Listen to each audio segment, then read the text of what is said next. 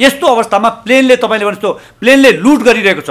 लुटी लुटिरहेको छ प्लेनले। त्यहाँ सरकारको नजर किन पुगेर भन् प्लेनले चाहिँ समय अनुकूल जनतालाई केही त सुविधा दिनु पऱ्यो नि त। हामीले अवरात्र ढङ्गबाट हाम्रा सवारीले तोकिएको भाडाभन्दा बेसी टिकट नकाट्नुहोस् भनेर लागि आज मेची महाकालीको गाडी खाली खाली आउनु परेको छ गाडीहरू। तपाईँले देख्नुभएको छ। अहिले भर्खरै मेरो केही फोन पनि थाहा पाउनुभयो। एकजना पेसेन्जर गाडी कसरी हिँड्नु भन्छ? होइन?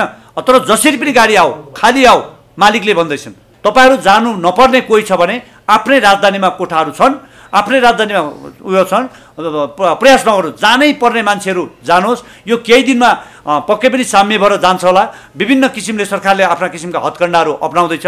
म म फेरि पनि आग्रह गर्न चाहन्छु जानुपर्ने यो गए सबै मान्छे भनेर त्रा त्रसित भएर कुद्नुपर्ने कन्डिसन होइन? किनभने हामी पनि यहाँ काम गरिरहेका छौँ। सबै हामी यहाँ छौँ। त्यस कारणले अझ गाउँ घरतिर गएर सेफ्टी होइला कि भन्ने कुराको चाहिँ आफ्ना गार्जेनहरूले बोलाएको होला।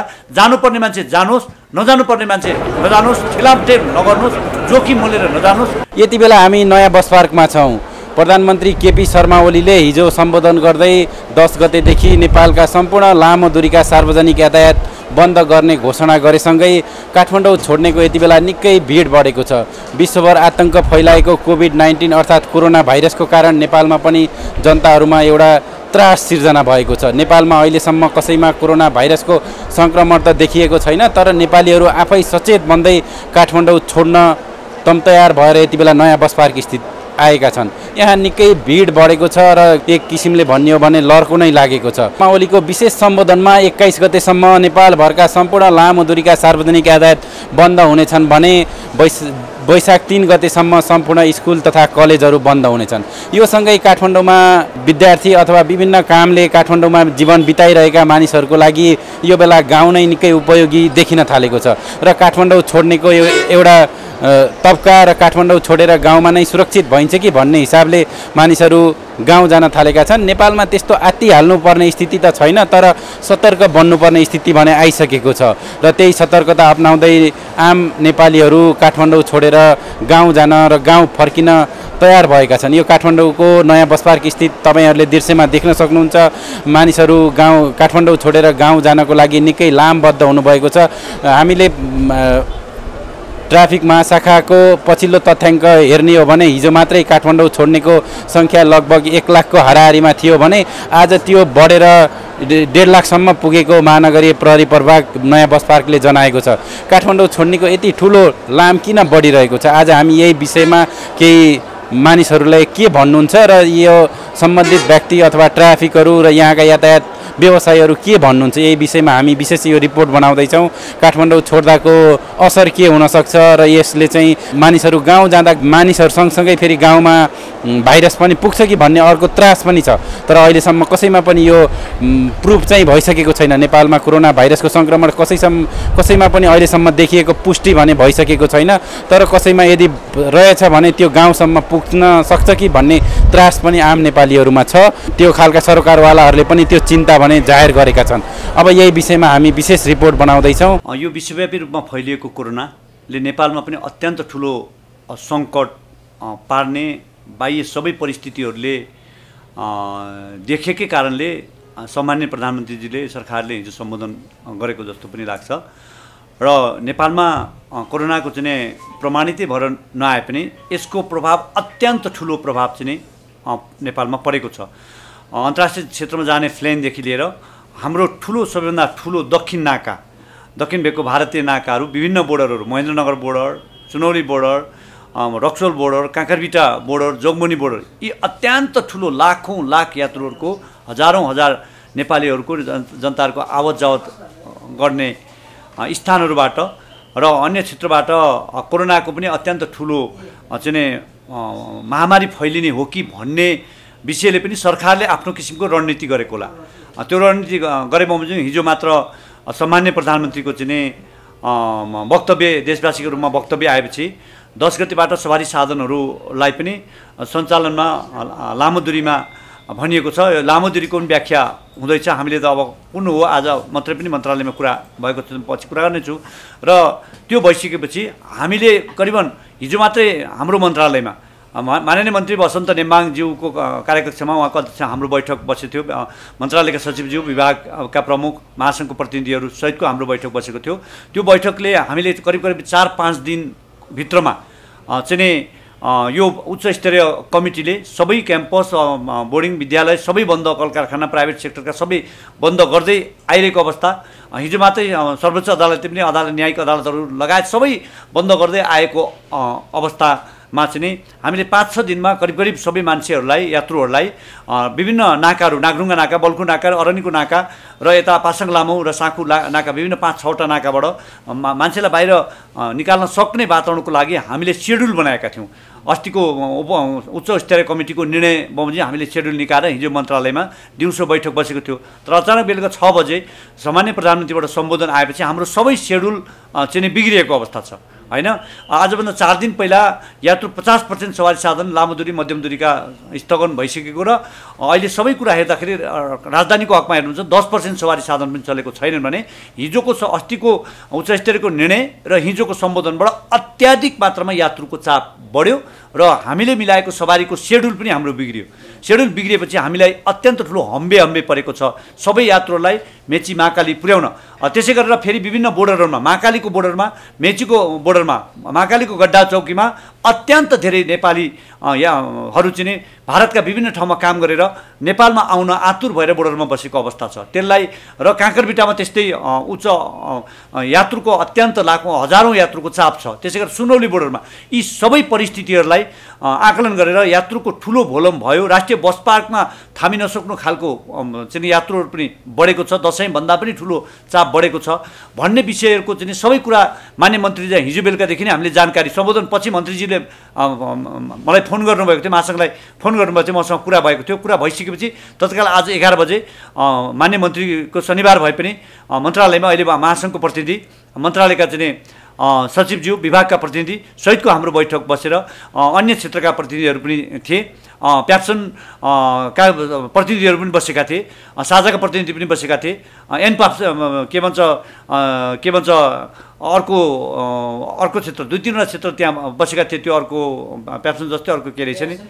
एन एन अ, इसान इसान बसेको थियो। उहाँहरूले के भन्नुभयो भने हामीले यहाँबाट गाडी चितवनसम्म लगिदिन्छौँ। प्याप्सनले भनेको चितवनसम्म हामीले यहाँबाट लगिदिन्छौँ। धनगढीको मान्छे चितवन लगिदिन्छौँ। त्यहाँबाट फेरि बुटोल लगिदिन्छौँ। बुटोलबाट त्यहाँ मान्छे त पाँच दिनमा पुग्ने रहेछ। प्राविधिक रूपले पनि हाम्रो गाडी चाहिँ कच्चा छैन। सरकारले चाहिँ यो आपतकालीन कन्डिसनमा हामीले पनि भनेका थियौँ हिजो। महासङ्घले पनि हिजो सबै मिडिया मार्फत सञ्चार माध्यम र सरकारलाई के भनेको थियो भने यो एउटा आपतकालीन कन्डिसनमा यातायात व्यवसाय हामीले मात्रै सवारीको व्यवस्थापन गर्न सक्ने कन्डिसन सेड्युल बिग्रिएको छ। त्यस कारणले सबैको चाहिँ अहिले चाहिँ सबै क्षेत्रको सरकारले सवारी निकाल्नु पर्यो। नेपाल प्रहरीको निकाल्नुपर्छ भने पनि सेनाको निकाल्नुपर्छ भने पनि के भन्छ पेप्सन आदि इत्यादि स्कुल साझा के के छन् सरकारी गाडी? साझा पनि त सरकारका गाडी पनि त सत्तरी बहत्तरको गाडी छन् ती त खालि यहीँ मात्रै घुमाएर नै ती जानु पऱ्यो अहिले दार्चुला जानु पऱ्यो ताप्लेजुङ जानु पऱ्यो पाहाड कन्दरामा जानु पऱ्यो त्यो जनताले र सरकारी गाडीले त्यो कुरा हामीले उठाएका थियौँ। साझाले पनि के भन्छ हाम्रो दुई चारवटा गाडी छन् अब चालकहरू अनुभवी छैनन् गाडी चलाउने कन्डिसन छैन कसैले चालक छैनन् भन्ने कुरा ल्याएको छ। तर पनि परिस्थिति पऱ्यो भने हामीले के गर्नुपर्ने भन्ने खालको कुरा उहाँले ल्याएको छ। यो आपतकालीन घडीमा सबैको समन्वयकारी भूमिका हुनुपर्छ फेरि सरकारले सबै यात्रु जनतालाई त ख्वात्तै एकैपटक जानु भनेको पनि त छन त छैन। तर पनि सबै यात्रुहरू के भने अब एक डेढ महिना बन्द सबै के भन्छ आफन्त आफन्त मान्ने अ, जनसँग बसेर भेटघाट गर्ने भन्ने कुरो भएरै यो हत्तैको परिस्थिति सिर्जना भएको छ। र अहिले आजै मात्रै आजै मात्रै मान्य मन्त्रीज्यूलाई अहिले भर्खरै म त्यहाँबाट मन्त मन्त्रालयबाट बैठकबाट आउँदैछु। बैठकबाटमा चाहिँ हामीले सुझाव दिएका छौँ कि दुई दिन तिन दिन हामीलाई अरू समय थप दिनु पऱ्यो सवारी चलाउने हो भने। अब भने विभिन्न किसिमको चाहिँ निर्णय पनि के भन्छ बाजिने खालको निर्णय आएको छ। लामो दूरी भनेको छ कतिसम्मलाई लामो दूरी भन्ने? कानुनको व्याख्या होइन भन्ने कुरा आयो अहिले। काठमाडौँबाट बाहिर जाने सबै गाडी भनिएको छ। हामीले त गोर्खा पोखरा धादिङ के भन्छ यता रामेछाप लगायत तेह्र जिल्लामा जाने ती सवारीलाई पनि बात चलाउने हो कि यतापट्टि? त्यो त्यो यात्रालाई भोलि पर्सि लगे पनि हुन्छ भनेको होइन रहेछ। एक जिल्लाबाट अर्को जिल्ला भन्ने कुराको कुरा आउँदैछ। त्यो त्यो छलफल भएको छ। यी सबै किसिमको छलफल र समय थप्नु पर्ने र भएका गाडीलाई अधिकतम मेची महाकालीबाट हामीले गाडी मगाइरहेका छौँ। अब अर्को कुरा के भने पर्सिबाटै बन्द को चाहिँ गाडी चाहिँ नचल्ने यातायातको सवा सार्वजनिक यात्रुवाहक सवारी साधन नचल्ने भनेपछि फेरि त्यो गाडी महाकालीबाट आउँदा आउँदा धनगढीबाट आउँदा मेचीबाट आउँदा फेरि फर्किन कन्डिसन छैन। होइन? त्यस कारणले अहिले गएका गाडीहरू पनि उताबाट यात्रुहरू एकजना पनि अहिले काठमाडौँबाट हत्तै मान्छे बाहिर निस्किएको परिस्थितिले साइकोलोजी रूपमा जनताहरू पनि बाहिर के छन् भने फेरि काठमाडौँ आउने कन्डिसन छैन। भनेपछि ती गाडी त खाली पनि आउनुपर्ने कन्डिसन यही यस्ता किसिमका थुप्रै प्राविधिक समस्याहरू। एउटा गाडी महाकाली मेची पुगेर पचास हजार खर्च पनि आउँछ। यो कुरालाई हामी अहिले यातायात व्यवसाय मजदुर चालक परिचालक सबै क्षेत्रका हाम्रो तहबाट हामी आफ्नो व्यक्तिगत स्वार्थभन्दा पनि एउटा राष्ट्रमा उठेको एउटा सङ्कटकालीन परिस्थितिलाई सबै मिलेर सामना गर्नुपर्छ। कसैले पनि स्वा स्वार्थमा नगरौँ। तोकिएको भाडाभन्दा बेसी लिने प्रयास पनि नगरौँ। अधिकतम हाम्रो तहबाट प्रयास गरौँ भन्ने कुरा गऱ्यौँ। र अर्को कुरा के भने यात्रु अब के भन्छ पच्चिसजना यात्रुभन्दा चाहिँ के भन्छ सिटको सङ्ख्याभन्दा मान्छे नचढ्नु भनेको छ। अब यात्रु आयो भने कसले ओह्राल्ने? होइन यो एउटा सवारी पनि दिन नसकिने आपतकालीन घडीमा सरकारले पनि त्यो उपलब्ध गराउने कन्डिसन यी सबै परिस्थितिलाई आकलन गरेर आफ्नो आफ्नो क्षेत्रबाट कन्सिडर गर्नुपर्ने अवस्था छ। यात्रु जानै पर्ने छन् जानै पर्ने खालका यात्रु छन् भने जानुपर्छ। जानुपर्ने छैन भने यात्रुहरूलाई चाहिँ हिजोको सम्बोधनले पनि के भनेको छ भने घरैमा बस्नु पनि भनेको छ। उच्च स्तरले पनि घरैमा बस्नु भनेको छ। बिदा पो दिएको छ त। सबै मान्छेलाई गटट जानु त भनेको छैन। तर पनि मन मानेर आफूहरू जान जान चाहनेले जान पनि पायो। होइन? तर हो त्यो एकैचोटि मान्छे निक्लिएको कारणले हामीलाई यो व्यवस्थापन गर्न समस्या परिरहेको छ तर समस्याको बावजुद पनि हामीले काम गर्नु परिस्थिति छ। अहिले अहिले तपाईँलाई म अनुरोध गरेँ राष्ट्रिय बस्तार गङ्गु बस्तार लगायत सबै ठाउँमा तपाईँ हामीले मा मास्क लगायत हेल्थ हेल्थ डेस्कहरू राख्नु भन्यो। त्यो राख्न सकेन। अहिले बस्दा नै राख्यो हेल्थ डेस्क पनि राख्ने कन्डिसन अप्ठ्यारो कन्डिसन। त्यहाँ यात्रु पुगेर तपाईँले हेल्थ डेस्क पनि हेर्नुभयो।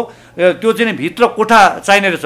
त्यही पनि यहाँ लोसे बौद्धिसे प्रणालीले चाहिँ आफ्नो ठाउँ नै आफू आफू बसेको कोठै खाली गरेर हेल्थ डेस्क राख्ने ठाउँ पनि दियो। त्यो त्यो चाहिँ ठाउँ अघि मलाई हेल्थ डेस्कको मान्छेले फोन गरेर खोइ सर यहाँ त मान्छे चेक गर्ने आउँदैन अब हामीले पुर्याइदिने चेक गर्न। त्यो त सरकारले व्यवस्थापन गर्नु पऱ्यो नि। कोटेश्वरमा त्यस्तै छ। मास्क नलाइकन कर्मचारीहरू तपाईँले देख्नु भएको छ? त्यहाँ चाहिँ निसासिएको अवस्था छ अहिले बस पार्कमा त्यो स्प्रे सरकारले स्प्रे सर्किनु पर्ने हो नि त। कमसेकम यस्ता हुलमुल हुने ठाउँमा अन्य क्षेत्रमा तपाईँ हेर्नु अन्तर्राष्ट्रिय क्षेत्रको हामी कुरा गरिएको छ। त्यस कारणले सरकारले आफ्नो किसिमको सजगता अप्नाउनु पर्ने कुरामा केही कमी भएको छ तर पनि अहिले यहाँ आरोप र प्रत्यारोप गर्ने कन्डिसन छैन। त्यस कारणले हाम्रो गच्छे अनुसारको हामीले अधिकतम प्रयास गरेका छौँ। तपाईँलाई आज म भनौँ अरण्यको यातायात सेवा कम्पनी प्रणाली अखिल नेपाल मजदुर मजदुर ट्रेड युनियनले आज तेह्र जिल्लामा जाने चाहिँ रत्तपारबाट हजारौँ यात्रुलाई लाइन लगाएर मास्कहरू वितरण गर्यो। त्यो अब भर्खरै प्राइभेट। अनि सरकारलाई हामीले मास्क वितरण गराइदिनुहोस् न अस्ति बिस लाख मास्क चाहिँ के भन्छ के भन्छ प्रहरीले छापा मारेर निकालेको छ। त्यो मास्क हामीलाई किन्न दिनुहोस्। प्रत्येक चालक मजदुर कर्मचारीलाई हामी किनेर चाहिँ परिचालन गर्छौँ। त्यो त्यो कन्डिसन पनि भएन। आज चाहिँ मलाई विश्वास छ आज यातायात व्यवस्था हिजो मन्त्रीज्यूको बैठक बसेपछि तत्काल एक डेढ लाख कति हुन्छ चाहिँ मास्कहरू निकाल्नुहोस्। र चालक परिचालक मजदुरहरूलाई काम काम गर्ने कर्मचारीलाई र हुनसक्छ यात्रुहरूलाई पनि। वितरण गर्नुहोस् तर यात्रुहरूले मास्क लगाएर आउनुहोस् भन्ने आह्वान पनि गरेका छौँ। सबै कुरा त हामीले पुर्याउने हाम सबैले आफ्नो आफ्नो क्षेत्रबाट कन्ट्रिब्युसन गर्नुपर्ने परिस्थिति छ। यो यो एउटा सङ्कटकालीन परिस्थिति हो राष्ट्रिय सङ्कटको घडी हो। यसलाई सबै मिलेर सामना गर्नुपर्ने अवस्था छ। यो सामना गर्नको लागि हामी आफ्नो तहको सबै किसिमको प्रयास हामी गरिरहेका छौँ। यातायात महासङ्घले मैले भनिहालेँ थुप्रो किसिमको बैठक बस्यो। अहिले मन्त्रीजीसँग बैठक बसेर केही सुझाव दिएका छ। मैले भने नि यो आज भोलिमा हामीलाई गाह्रो परिरहेको छ। यो के समय थपौँ? होइन कि समय थपौँ? होइन भने आज प्लेन तपाईँले प्लेनले बहत्तरवटा सिट बहत्तरवटा सा सत्तरी सिट बोकेर जान्छ प्लेनले। सत्तरी सिटको प्लेन चाहिँ चलिरहने अरे अनि बस चाहिँ रोकिने अरे। यो पनि मिलेन नि त। सत्तरी सिटमा चाहिँ के भयो? हाम्रो त चालिस सिटको गाडी हो तिस सिटको गाडी हो हाम्रो। होइन रोकिनुपर्छ भने प्लेन पनि रोकिनु पऱ्यो बस पनि रोकिनु प्राइभेट गाडी सबै रोकिनु पऱ्यो लक केही दिनको लागि सबै ढुक्कसँगले आफ्नो आफ्नो ठाउँमा स्थानमा बस्छन्। यो यो यो चाहिँ निर्णय अलिकति बाजे नै निर्णय आयो भनेर अहिले हाम्रो माननीय मन्त्री वसन्त नेमाङलाई र विभाग सबै मन्त्रालयमा गएर हामीले सुझाव दिएका छौँ। यो यो सबै किसिमका सुझावहरू डे लगायतकादेखि लिएर स्वास्थ्यदेखि लिएर यात्रुको स्वास्थ्यदेखि यहाँ त कस्तो छ भने अहिले भारतबाट जो मान्छे आइरहेको छ भारतमा त सङ्क्रमण के भन्छ प्रमाणितै भइसकेको अवस्था छ। हाम्रो देशमा अहिलेसम्म प्रमाणित छैन तर अहिले ठुलो त्रास भएको छ। त्यो नाकाहरूबाट भित्रिँदाखेरि यात्रुहरू बाहिर जाँदाखेरि एक एक आपसमा चाहिँ यात्रुहरू अहिले निर्णय सरकारले गरिरहँदा पच्चिसजनाभन्दा मलामी नजाने पच्चिसजनाभन्दा मन्दिरहरूमा नजाने सभागोष्ठी नगर्ने होइन पच्चिसजनाभन्दा भेला नहुने भनेको छ। यहाँ त हजारौँ मान्छे मास त भइरहेको छ नि। यो एउटा परिस्थितिलाई सरकारले अझ गम्भीरतापूर्वक उच्च स्तरीय कमिटीलाई म एउटा के अनुरोध गर्न चाहन्छु सुझाव पनि के दिन चाहन्छु उच्च उच्च स्तरीयलाई भने सरकारवाला पक्षहरूसँग अलिकति राखेर सुझाव पनि लिएर मन्त्रालय हाम्रो मन्त्रालय यातायात मन्त्रालय कि जोखिमपूर्ण परिस्थिति देखाइरहेको छ यातायातबाट ठुलो सङ्क्रमण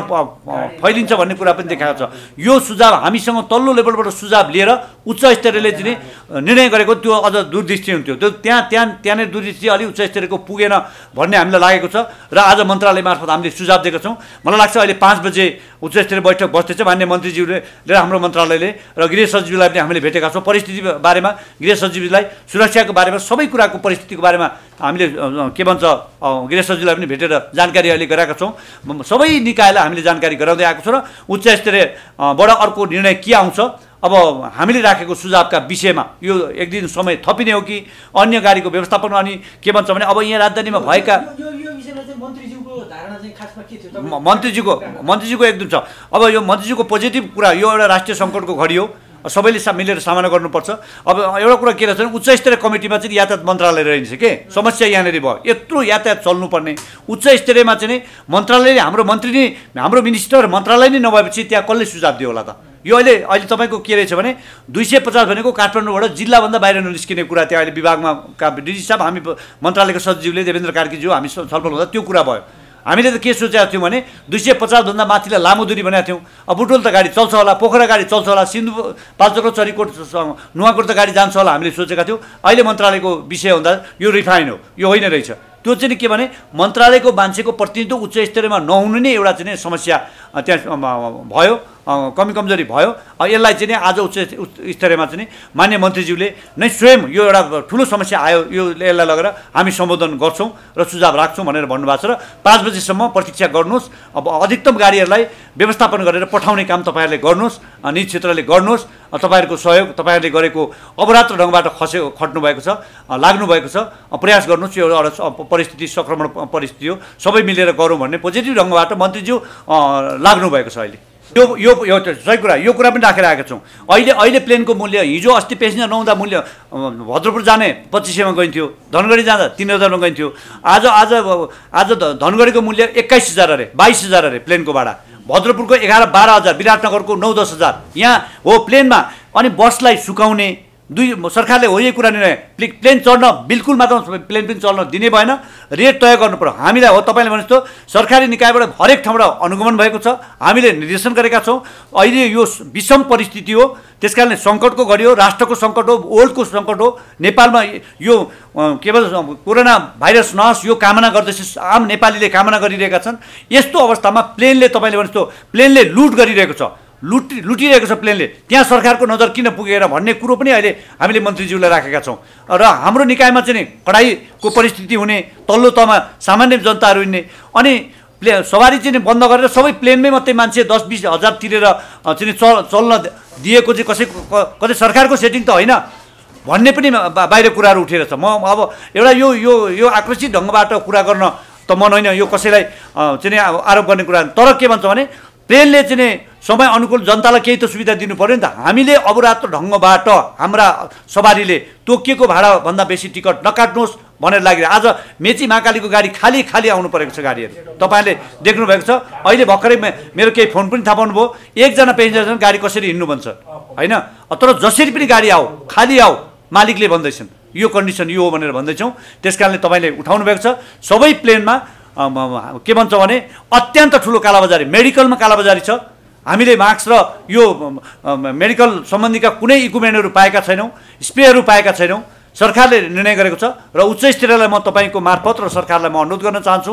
हाम्रो तबाट अधिकतम सबै सञ्चारकर्मीहरू लाग्नुभएको छ हामी लागेका छौँ सबै मजदुरहरू लागेका छन्। अहिले तपाईँको म त्यहाँ काम गर्ने टिकट काट्ने काउन्टरमा कर्मचारी कसरी बसेर त्यो मास्क पनि नपाएर त्यहाँ एसिडहरू छर्किनु पर्ने होइन? स्प्रेहरू छर्किनु पर्ने होइन यस्ता यस्ता भिडभाड हुने ठाउँमा सरकारले ल्याएर होइन? तपाईँ हेर्नु त चिन भारत हरेक ठाउँमा त पुरै एरिया गाउँ बाटो बाटोमा छर्किँदै कुदिएको छ।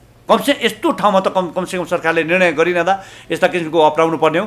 तर लाग्छ सरकारले पनि विभिन्न किसिमका हत्कण्डाहरू अप्नाइरहेको छ। यसलाई यो यो कोरोना भाइस भाइरसको विषय चाहिँ नफैलियोस् के भन्छ नआओस् भनेर सरकार पनि लागेको त छ तर केही केही ठाउँमा चाहिँ विज्ञहरू त्यसका त्यस क्षेत्रका विज्ञहरूबाट सुझाव नलिएको कारणले गर्दा अलिकति कुराहरू बाजिएको परिस्थिति छ। यो बाजिएको कुरालाई आज हामीले मन्त्रालयमा क्लियर पारेका छौँ। आजमा मलाई विश्वास छ आज पाँच बजे बस्ने उच्च स्तरीय मिटिङले केही नयाँ कुरा ल्याउँछ भन्ने मलाई विश्वास छ। र आज आज विभागले के भन्छ भने हाम्रै पहल कदमी ठुलो पहल कदमी भयो। पहल कदमी भइसकेपछि मास्क चाहिँ एक लाख मास्क चाहिँ नै मन्त्रीज्यूको निर्देशनमा चाहिँ नै मास्क खरिद भएको भन्ने आएको छ। सायद पा आज आजबाट मास्क वितरण पनि राष्ट्रिय बसपाबाट सुरुवात हुन्छ कि भन्ने लागेको छ र वितरण नभइन्जेल अझै पनि विश्वास भएको छैन वितरण हुन्छ होला। होइन एउटा कुरा के भने यात्रुहरू पनि नातिने उ गर्ने भने अधिकतम हामीले गाडीहरू बाहिरबाट तानिरहेको छौँ। खाली गाडी तानिरहेको छौँ अहिले। हिजोको समिति भए पो तेल हालेर आऊ भन्ने कन्डिसन पनि छैन। कम्पनी प्रणालीहरू छन् आफ्नो ढङ्गले आउनुपर्ने छ अहिले मेची महाकालीमा हिजो जस्तो समिति थियो भने सबै गाडी हामी जति पनि गाडीहरूलाई तान्ने अवस्था यो हुन्थ्यो होइन? त्यस कारणले के भन्छ भने अब मेची महाकालीबाट आउने गाडीहरूको चाहिँ कन्डिसनमा र पनि थप जस्तो हिजो बिसवटा दसवटा गाडी चल्थ्यो भने बिसवटा गाडी महेन्द्रनगर पैँतिस तिसवटा गाडी चाहिँ के भन्छ अरू दिनमा दस पन्ध्रवटा गाडी चल्थ्यो भने तिसवटा गाडी चल्ने कन्डिसन बनाउँदैछन्। मैले सबै ठाउँमा चाहिँ के भन्छ के भन्छ हामीले माग गरिरहेको छौँ। तर गाडी मगाउने हामीलाई समय छैन के? समय नै भइदिएन के? हामीसँग गाडी छन् नि। तर मेची महाकालीबाट गाडी मगाउने समय पुगेन। किनभने आजको भोलि तुरुन्त अब त्यो चालक पनि त गएर सुत्नु त एकछिन पर्यो। फेरि अर्को यो मानिसहरूलाई लाने विषयमा अर्को ठुलो दुर् जोखिम दुर्घटना होला भन्ने अर्को त्यो के भन्छ सुरक्षाको विषयलाई पनि हामीले ध्य- मध्यनजर राख्नु पर्यो। त्यस कारणले अहिले मैले महाकालीदेखि सबै ठाउँमा मा प्रत्येक कम्पनीका अध्यक्षहरूलाई प्रालीका अध्यक्षज्यूहरूलाई महाकालीदेखि लिएर धनगढी भयो नेपालगञ्ज भयो दाङ भयो पूर्व पश्चिम मेची महाकालीमा मेची भयो अझ मेचीमा महाकालीमा त मैले मन्त्रीज्यूलाई नै फोनमा कुरा गर्न दिएँ। मन्त्रीज्यूलाई नै महाकालीको अध्यक्ष ज्यूसँग अ, महाकालीको अध्यक्ष डम्बर पन्तजीसँग मन्त्रीज्यूलाई नै फोनमा कुरा गर्न दिएँ मैले। अनि महाकालीको के भन्छ मेचीको चाहिँ नि अध्यक्ष विष्णु श्रेष्ठ काकरबिटा मेचीको बोर्डरको बोर्डरको अध्यक्षज्यूलाई नि मन्त्रीजीसँग कुरा गर्न दिएँ। यहाँको व्यवस्थापनको चाहिँ प्रमुख यहाँको प्रमुख सुनिल ग- गृह सचिव र मन्त्रीज्यूलाई नै कुरा गर्न त्यहाँको व्यवस्थापनमा तपाईँहरूले पनि सहयोग गर्नुभएको छ धन्यवाद भनेर यहाँ यहाँ यहाँको व्यवस्थापन लक्ष्य बहुद्देश्य प्रणालीले पनि अत्यन्त ठुलो सहयोग गरेको छ। सचिव र मन्त्रीज्यूलाई फोनमै मैले कुरा गर्न दिएँ होइन? सबैलाई एउटा मनोबल बढाउनको लागि उच्च मनोबल बढाउनको लागि मान्य मन्त्रीज्यूले एउटा इनिसिएसन लिएको पाएको छु। यसलाई चाहिँ पोजिटिभ लिन्छु। तर के भन्छ भने म फेरि आग्रह तपाईँको तपाईँको यो सुनौलो मिडिया मार्फत के आग्रह गर्न चाहन्छु सबै यात्रु महानुभावहरूलाई भने तपाईँहरू जानु नपर्ने कोही छ भने आफ्नै राजधानीमा कोठाहरू छन् आफ्नै राजधानीमा उयो छन् प्र- प्रयास नगर्नु जानै पर्ने मान्छेहरू जानुहोस्। यो केही दिनमा पक्कै पनि साम्य भएर जान्छ होला। विभिन्न किसिमले सरकारले आफ्ना किसिमका हत्कण्डाहरू अप्नाउँदैछ। म म फेरि पनि आग्रह गर्न चाहन्छु जानुपर्ने यो गए सबै मान्छे भनेर त्रा त्रसित भएर कुद्नुपर्ने कन्डिसन होइन? किनभने हामी पनि यहाँ काम गरिरहेका छौँ। सबै हामी यहाँ छौँ। त्यस कारणले अझ गाउँ घरतिर गएर सेफ्टी होइला कि भन्ने कुराको चाहिँ आफ्ना गार्जेनहरूले बोलाएको होला। जानुपर्ने मान्छे जानुहोस्। नजानुपर्ने मान्छे नजानुहोस् ठेलामठेल नगर्नुहोस् जोखिम मोलेर नजानुहोस्। यो एउटा यो चाहिँ दसैँ चाडबाडको सेड्युल होइन।